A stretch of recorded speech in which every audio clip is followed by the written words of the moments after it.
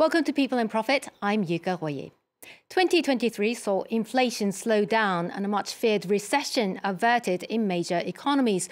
But as we begin a new year, the world is facing potential crises once again, including here in Europe, with two military conflicts on its doorstep. Now, to discuss more, we can speak with Ian Bremmer, president and founder of the Eurasia Group, that has just released its annual ranking of the biggest risks facing our world. This year, the US at war with itself is topping the list, followed by a Middle East on the brink and a partitioned Ukraine but ungoverned artificial intelligence, a weaker Chinese economy, and the fight for critical minerals are also among the biggest threats identified in the report. Ian, thank you for being with us. Sure, my pleasure. Good to be back. Well, you're calling 2024 the Annus Horribilis, the Voldemort of years. That's a rather grim take on the year ahead. It is uh, three major geopolitical conflicts with the antagonists not even sharing basic sense of facts, no prospect for diplomacy uh, bringing any of these to a close. Uh, we've never experienced anything like that in the uh, in the modern age, and that is uh, the backdrop for this uh, particularly disturbing uh, and conflict-laden top risk report. Well, now, US politics, as I mentioned earlier, is at the top of your list. But let's uh, talk first about risk number two, the Middle East. The Israeli Hamas conflict is escalating with no end in sight, and there are increasing fears that it could morph into a wider regional conflict. With Houthi rebels in Yemen attacking tankers and commercial ships in the Red Sea, it has already taken a toll on global trade. How much worse can it get?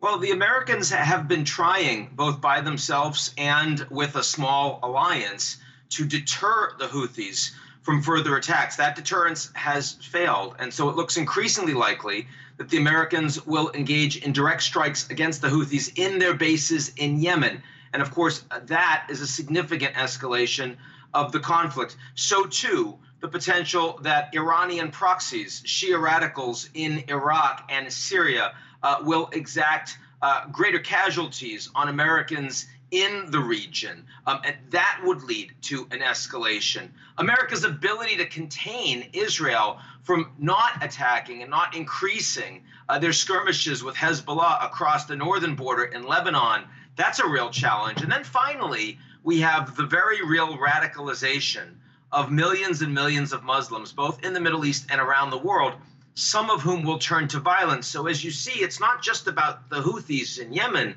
There are so many ways that this conflict is likely to escalate, and you'd have to be very smart and very lucky to keep the war largely contained in Gaza. So, in that respect, how far can this crisis test global cooperation? Well, the worst scenario would be the Americans fighting directly with Iran. I don't think it's likely, but it's possible. Neither country wants that war, but as Trotsky says, sometimes you don't want war, sometimes war wants you. If that were to occur, we'd have $150, $200 oil, a global recession. Trump would certainly win the 2024 election. Lots of other things would come as a consequence. But even with the war as it stands, the United States today is more isolated in its support for Israel than Russia was when it invaded Ukraine two years ago. You see that in the General Assembly votes. You see that with the demonstrations and the politics around it. Biden also has significant problems at home because a majority of his own Democratic supporters are more closely aligned and sympathetic with the Palestinian cause than they are with the Israelis. This only three months after the Jews faced the worst violence in the world since the Holocaust. So the stakes, as you see, are quite high. Now, and also, of course, there's another war we're seeing in Ukraine, number three on your list. Uh, after last year's fa failed counteroffensive, uh, you're saying that a partitioned Ukraine is now inevitable. Does that mean a victory for Russia?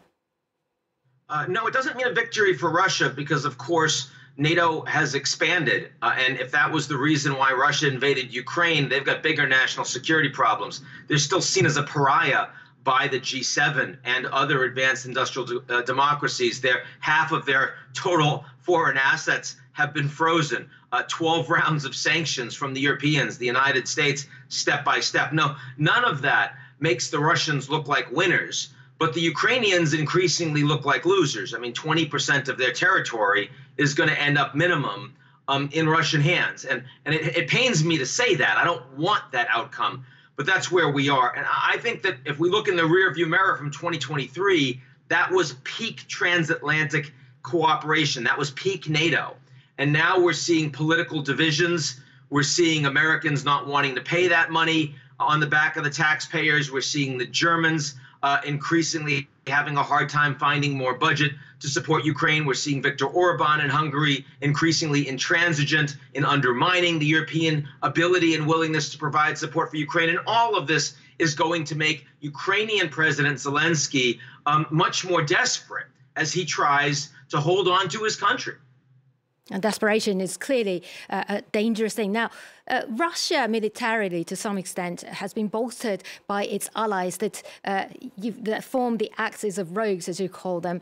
Uh, North Korea has been providing Moscow with, uh, with ammunition and Iran with drones. How dangerous are these countries? Well, first of all, you'll note that China's not on that list. They're not providing military support for Russia. And the Chinese do uh, want a level of global stability so that they can continue to flourish economically, politically, and from a national security perspective. That is not true of Russia, Iran, and North Korea. These are chaos agents uh, who are uh, effectively pariahs for the entire advanced industrial democratic community, whether it's France or Germany or the United States or Canada or Japan or South Korea.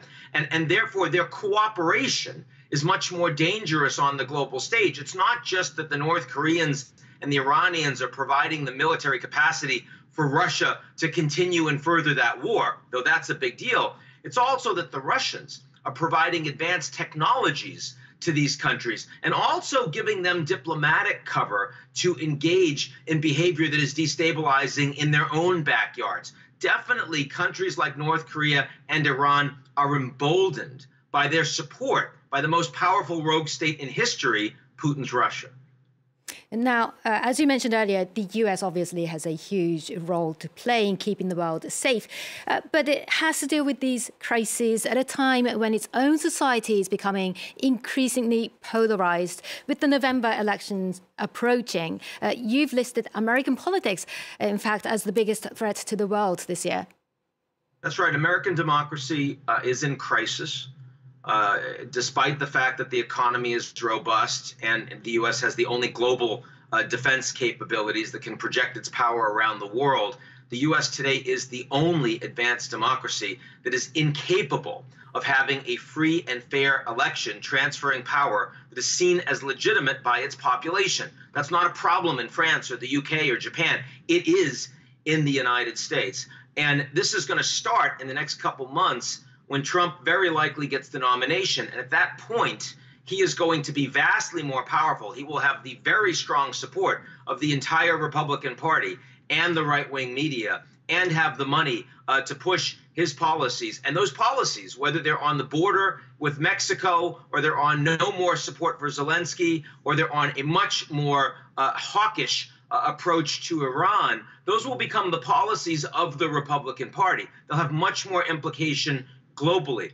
As we look ahead to the election itself, there is so much more to play for. It is so much more existential. If Trump loses, he goes to jail. So he will do everything he can, everything in his power to get his supporters to legally and illegally prevent that from happening. If Trump wins, Biden and his supporters, many of his advisors believe that when Trump politicizes the Department of Justice, the Federal Bureau of Investigations, the Internal Revenue Service, that they will face legal jeopardy themselves, a new McCarthyism that will chill opposition in the U.S. and make the U.S. no longer a consolidated democracy, but instead a hybrid system that feels closer to a one party outcome. That is unprecedented um, in the United States. Certainly, we've seen nothing like it post Civil War, and it's very, very disturbing. Allies of America around the world, when I speak to world leaders, they are more concerned about this than anything else by a long margin. America's adversaries see significant potential and opportunity for themselves.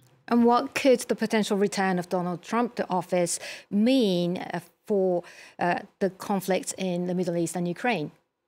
Well, for example, uh, Trump comes in office. He sees Zelensky as an adversary that refused to do his bidding in opening investigations on Biden and Hunter. He, Hunter Biden. He will demand um, an end to the war with the Ukrainians uh, needing to accept terms from Russia that are unacceptable. He will cut the Ukrainians off from aid. When that happens, that's not the Americans pulling out of NATO, but it is countries like Poland and the Baltic states and Finland and Sweden facing risks that are unacceptable to their national security from the Americans. It will drive a wedge in NATO, in Europe, and cause a major crisis, while leaders like Italy's Prime Minister Meloni, Hungary's Orban, will be aligned with Trump and saying, "Yeah, let's start working with the Russians again. We're spending too much money. Let's end this. Let's let's find a way to engage." So it is really a crisis for the EU. It's really a crisis for NATO. Also on the Middle East. Remember, when Trump was president.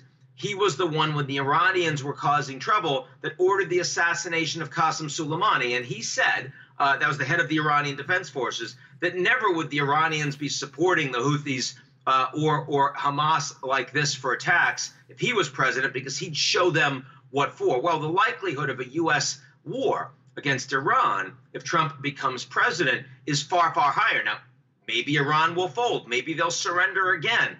Maybe they won't. Uh, again, the risks on the global stage. When Trump was president the first time around, there were no major conflicts on the global stage. It's like a pilot taking over, an inexperienced pilot taking over a plane for a few minutes when you're at 40,000 feet and the sky is clear. But what if you're in a blinding storm and you're trying to land and you can barely see the runway and then you hand over um, the steering wheel uh, to this completely inexperienced and volatile pilot? You might crash the plane. Well, that, that's what we're looking at in 2024. Well, Ian Bremmer, Bremmer, thank you so much for your insight. There are so many more risks uh, listed on your uh, report, but I'm afraid that's all we have time for for now. But thanks once again. And thanks to you for watching. Don't forget, you can also catch up with this and all our previous episodes on our website. If you have any questions or comments, you can reach out to us on social media. See you next time.